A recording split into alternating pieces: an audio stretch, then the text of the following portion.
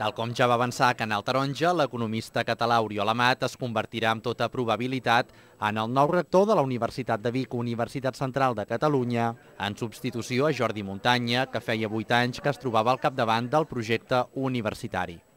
El patronat de la Fundació Universitària Balmes ha escollit per unanimitat la proposta d'Amat, que també va ser diputat de Junts pel Sí entre el 2015 i el 2017, entre les cinc candidatures que optaven a ocupar la plaça.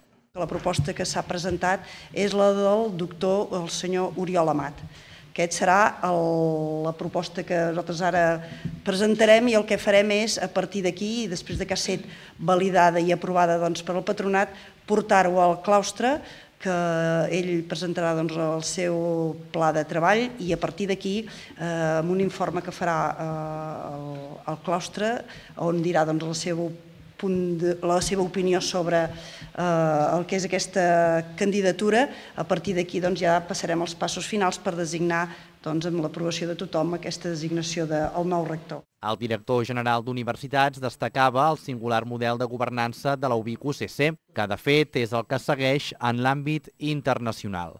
El que estem fent aquests dies, des que vam iniciar tot el procés d'elecció del rector, és una singularitat en el sistema, però crec que és una bona singularitat. És un procés molt valent, és un procés que és el procés que fan a nivell internacional les millors universitats públiques i privades. Per tant, el que aquí representa una singularitat, el que aquí representa el nostre país una, a vegades una por a, a aquest element diferencial és, és, el procediment, és el procediment habitual. El president de la comissió de selecció valorava especialment el palmarès de Mat.